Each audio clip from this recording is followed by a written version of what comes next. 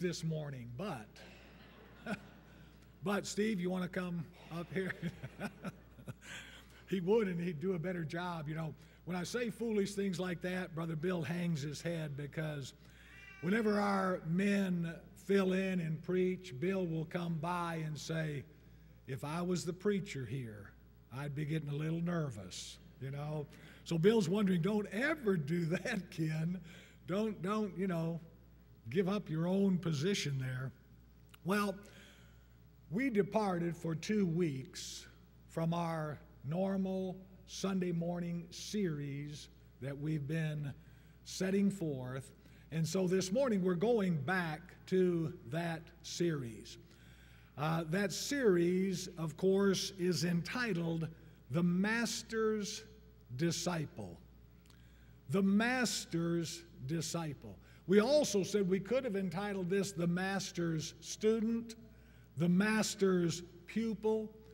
But remember, when we talk about a disciple, we're talking about a learner, okay? As a disciple of Christ, as his student, as his pupil, you're to be a learner. I am to be a learner.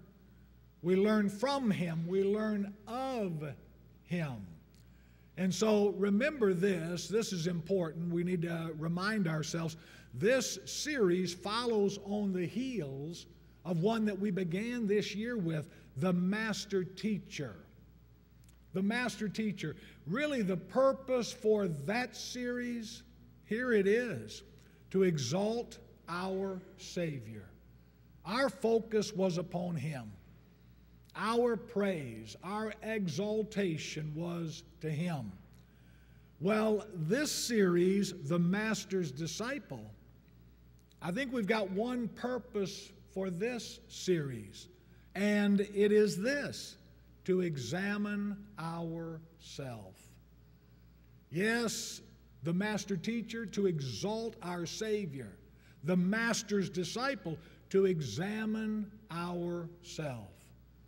You remember the Bible says, examine yourselves to see whether you be in the faith. Test yourselves. 2 Corinthians 13 and verse 5. Also in Lamentations 3 and verse 40. Let us examine and probe our ways, and let us return again to our God. You see, when we look at this first series, we understand that we have an awesome Savior. When we look at this second series, we should understand that we have an awesome responsibility as a disciple, as a student, as a pupil, as a learner of Jesus the Christ. Now, notice this. What kind of disciple does he desire? If I'm his disciple, I better know what kind of disciple he wants. What kind of disciple does he desire? Well, you remember in uh, John 2 and verse 5 what Mary says? Whatever he, speaking of Jesus, whatever he says to you, do it. That's the kind of disciple he desires. You remember the example of Noah given in Genesis 6 and verse 22? Thus did Noah. According to all that God commanded him, so he did. That's the kind of disciple I need to be. What did Jesus say in Matthew 7 and verse 21? Not everyone who says to me, Lord, Lord, shall enter the kingdom of heaven, but he that doeth the will of my Father who is in heaven. And so, what kind of disciple does he desire? One who does his will. What kind of disciple does he deserve? Well, he deserves the very best, does he not? The very best that I can give him, the very best that you can give him. We need to obey from the heart. Romans 6 and verse 17. Whatever your hands find to do, verily do it with all of your might. Ecclesiastes 9 and verse 10. That's what he deserves. The Macedonians, they first gave themselves to the Lord. 2 Corinthians 8 and verse 5. What kind of disciple does he desire? What kind of disciple does he deserve? What kind of disciple does he demand?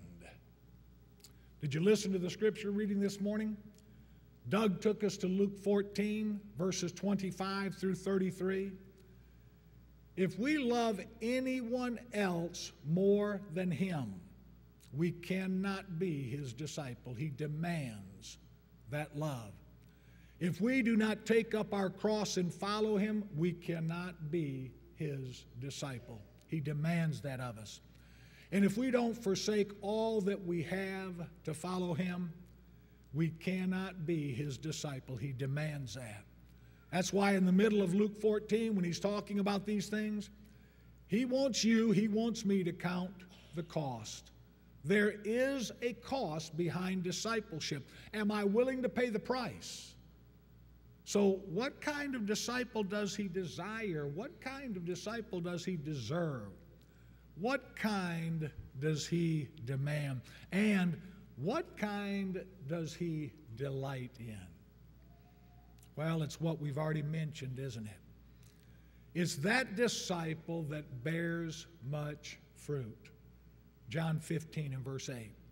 It's that disciple unto whom he can say, Well done, you good and faithful servant.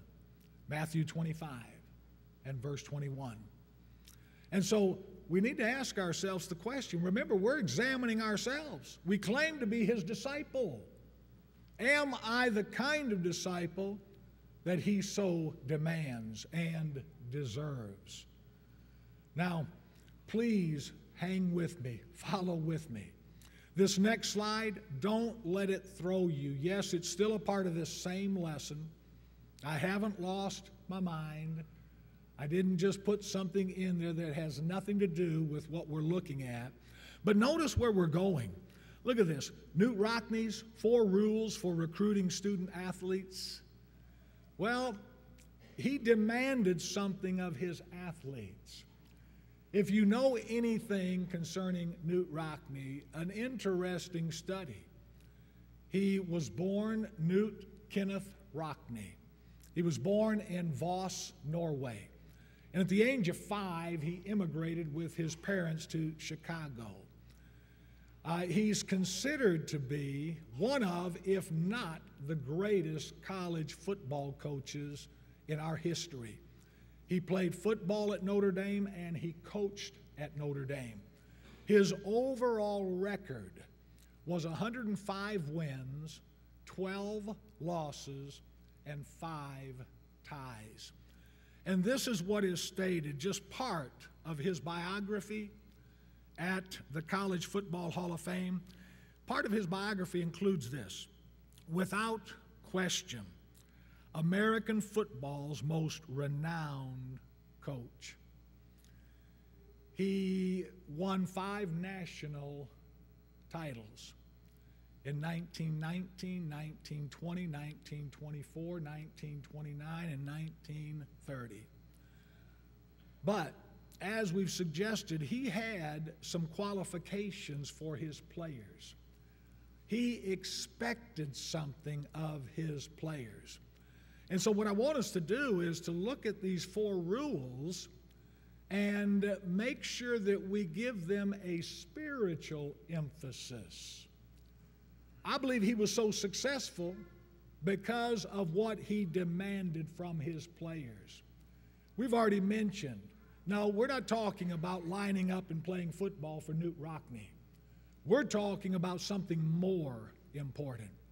We're talking about following the Christ. We're talking about obeying His will.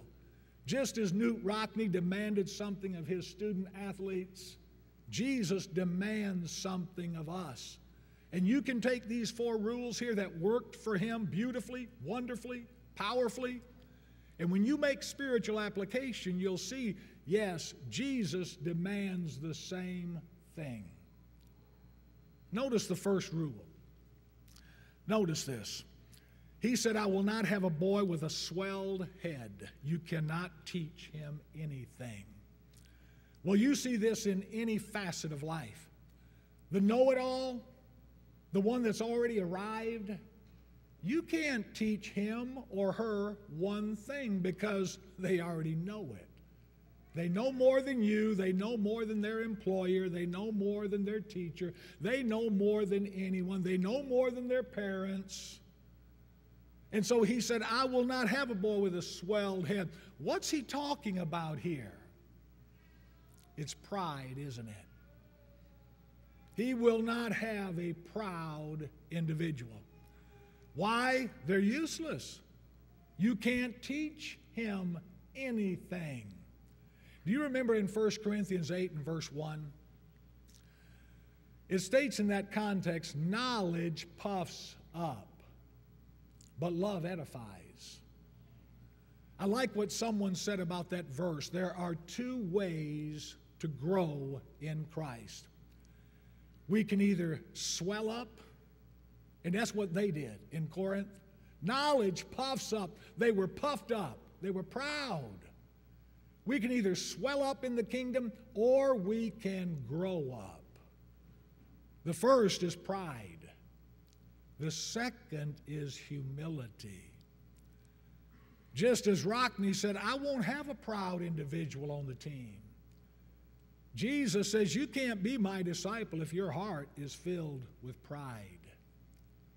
Remember James 4 in verse 6 God is opposed to the proud, but gives grace to the humble. Pride goes before destruction, and a haughty spirit before a fall. Proverbs 16 and verse 18. That's why in 1 Peter, the fifth chapter, verses 5 and following, Peter is emphasizing humility. He's trying to destroy pride within us. We're to clothe ourselves with humility. Remember Obadiah, verse 3? The pride of your heart has deceived you. Read Jeremiah 48 and verse 29 this afternoon. You can flip to it now if you just want to read that verse and then come back to us, okay? but don't start reading everything else. But six times, God uses words to describe the pride of Moab. I don't think you can turn to any other verse in the Bible and see pride in all of its foolishness. Let me ask you a question. How do you think the God of heaven views my pride, views your pride? Is it not disgusting? Is it not distasteful to him? Is it not disgraceful? Who do we think we are as we approach God Almighty, the creator of heaven and earth, and we do so with pride and arrogance? And so Knute Rockne said, and this proved good for him I will not have a boy with a swelled head. You cannot teach him anything. And so, as a disciple of Christ, I need to put aside pride. I need to fill my heart, my life with humility.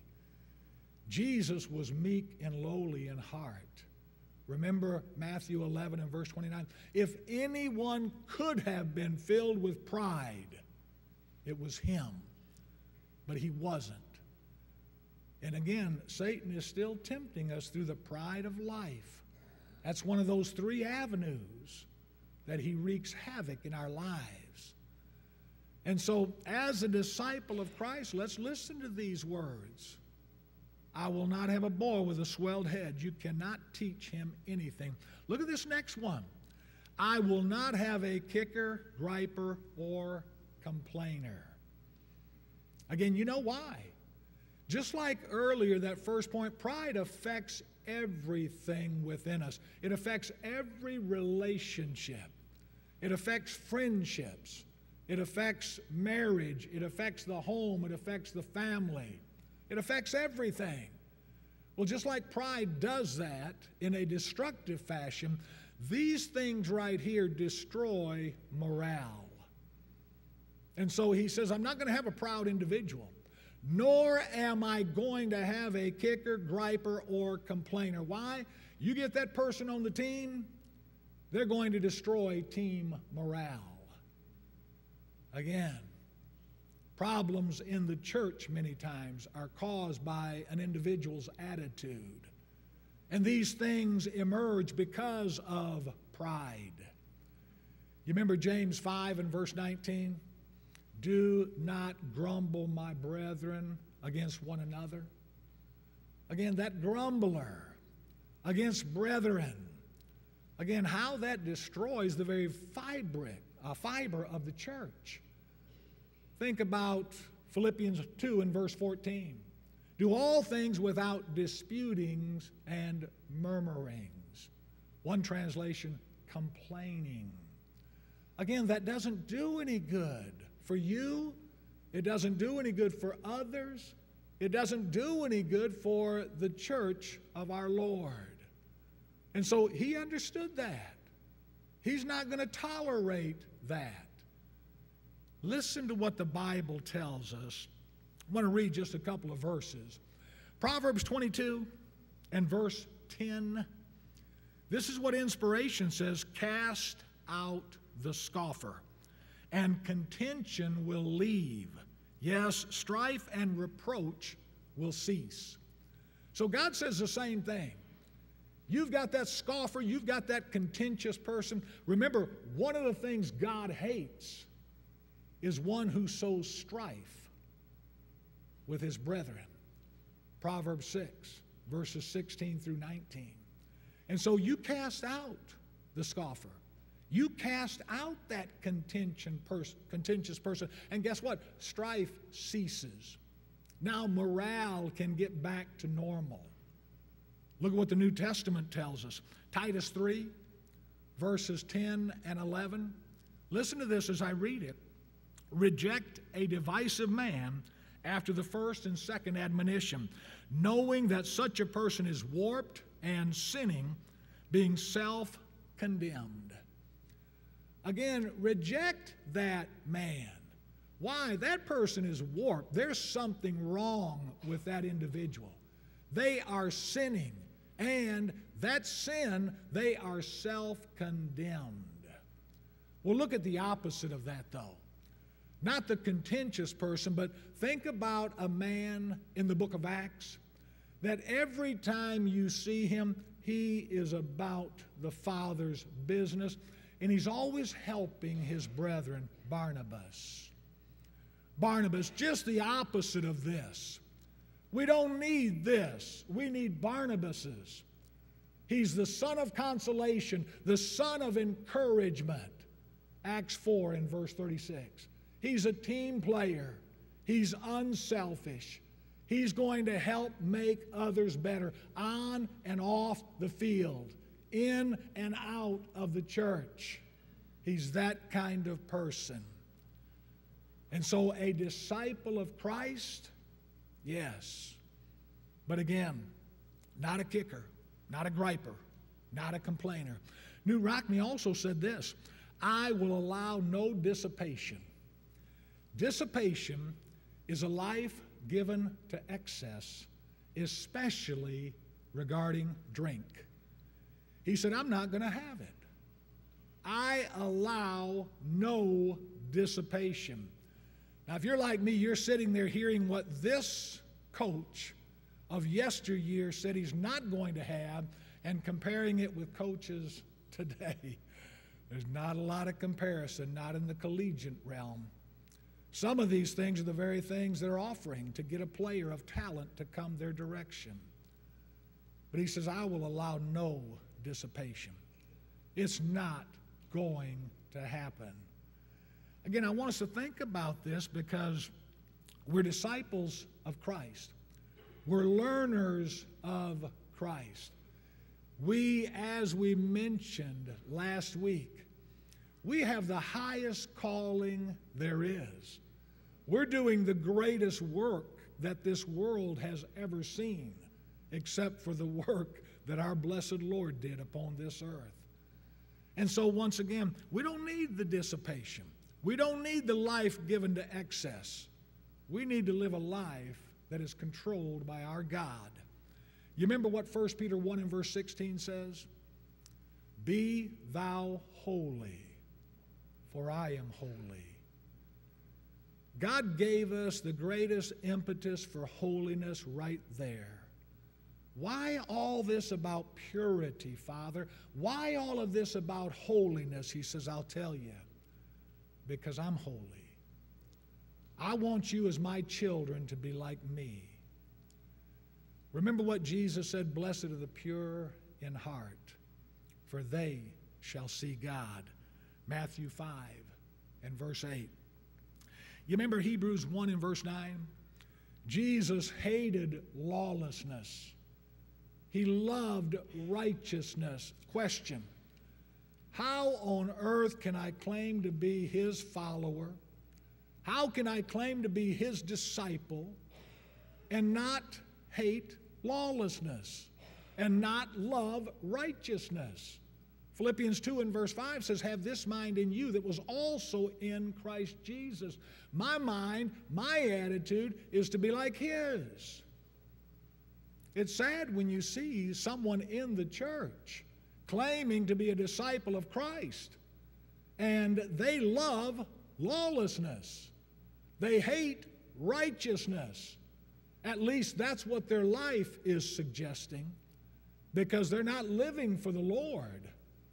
They're doing whatever they so please. Their life is not dominated by the fruit of the Spirit, but rather by the works of the flesh. Again, think about this. In 2 Timothy 2 and verse 19, the firm foundation of God stands sure, having this seal The Lord knows those who are His. And let everyone who names the name of Christ depart from iniquity. That's what we're to do to depart from iniquity, not see how close we can get to iniquity and see how cute we can appear to the world, but to depart from iniquity. 1 Peter 4, verses 2 and following, Peter's telling his brethren after their conversion that the world doesn't understand why you no longer run with them to the same excess of dissipation. There's that language. They've been converted to Christ. They're now a disciple of Christ. They don't live like that anymore. And you know what he says in 1 Peter 4 in verse 2? He says, We don't live for the lusts of men, but rather for the will of God. There's a big difference there. Many today are living for the lusts of men. That's what their lives are all about. Not according to the will of God. Remember, we're to come out from among them and be ye separate, saith the Lord. Touch not the unclean thing, and I'll receive you. And I will be a father to you, and you will be sons and daughters to me, says the Lord God Almighty. 2 Corinthians 6, verses 17 and 18. We're not to be conformed to this world, but transformed by the renewing of our minds, that we might prove what the will of God is, that which is good and acceptable and perfect. Do you remember when Moses and Aaron would stand before the Pharaoh? And a lot of times he would say, Yeah, I'll let you go. And then when the plague was removed, he's right back saying, You're not going anywhere. Well, later on in all of these confrontations, he offers Moses a compromise package. He says, You can go. You can go, the men can go, the women can go, the children can go, but your herds stay here. I love what Moses responded and told him. He said, Not one hoof will be left behind. He said, We're not going for that compromise package. We're going, and we're taking the flock, the herd with us. With that, remember, they would offer sacrifices to God. That was preeminent in their minds. But here's what I'm saying when God calls you through the gospel to become his disciple, when he calls me through the glorious good news to be his follower, I need to say the same thing. I'm leaving this world, and guess what? Not one hoof is left behind. I'm not going to straddle the fence. I'm not going to try to live like the world and claim to be a child of God. Brethren, it's an all or nothing proposition. Jesus wants you, He wants all of you. He wants your heart, your soul, and your mind. And again, that's not asking too much. That's really asking very little when you look at what he gave up for us. And so he says, Knute Rockne, I will allow no dissipation. Here's the last thing. Here's the last thing, and oh, how important this is.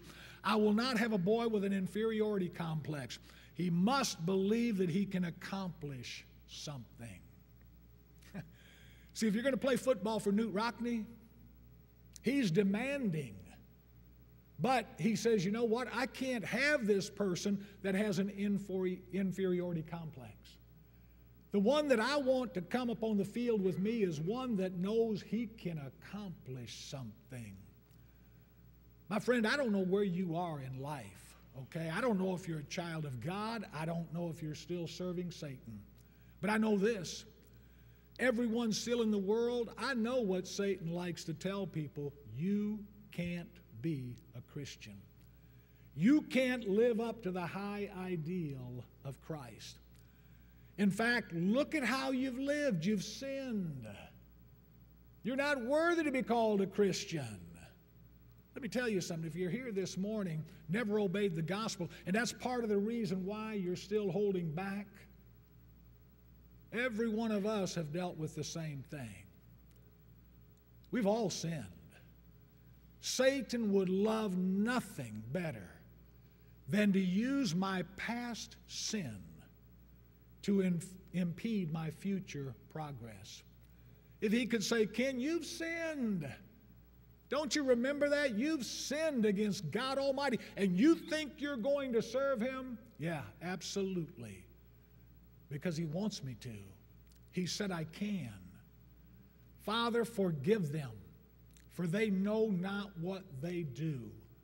Luke 23 and verse 34 the one who died for my sin on the cross, he said, You can do better than that. I can show you a better way. You can walk in my footsteps. What did Paul say? Paul says, on one hand, I am the chief of sinners. 1 Timothy 1 and verse 15. But you know what he also said? I can do all things through Christ who strengthens me. Philippians 4 13. Don't you want Paul on your side? I'm glad, and I'm sure that the first century Christians were glad that Paul was on their side. At one time, he's breathing out murders and threats against the disciples. Chapter 8 of Acts, chapter 9 of Acts. But now he's one of them. He's teaching, he's preaching. He said, I labored more than them all. 1 Corinthians 15 and verse 10. And he's talking about the other apostles. This man was dynamic in the kingdom. He was unstoppable in the kingdom. Why? Because he believed he could do something. He believed that with his Lord's help, he could serve him, he could glorify him, he could build up the body of Christ. He could live acceptably in this life and he could go to heaven one day. My friends, you can do the same thing. Don't ever let anyone say your past, your past, it's too evil, it's too shady. We're not talking about your past right now. Now, you got to deal with your past, no doubt. We're talking about your future.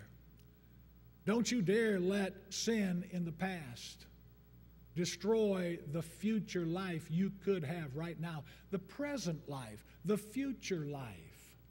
You can live the Christian life. Oh, it's not easy. We've already said you've got to count the cost. You're going to stumble, you're going to fall, but you've got a God who loves you. When you're prodigal, when you're wasteful, you come back to Him just like the prodigal son did, and He'll forgive you. You've got brothers and sisters in Christ here who care about you. They're going to help you along your journey. They're going to help you walk the straight and narrow. Yes, you can live the Christian life. And so, as we think about these four rules for recruiting student athletes, they worked, they will still work. This is what our Lord expects of us. He desires it, He deserves it, He demands it, He delights in it. Let's, brethren, be about His business.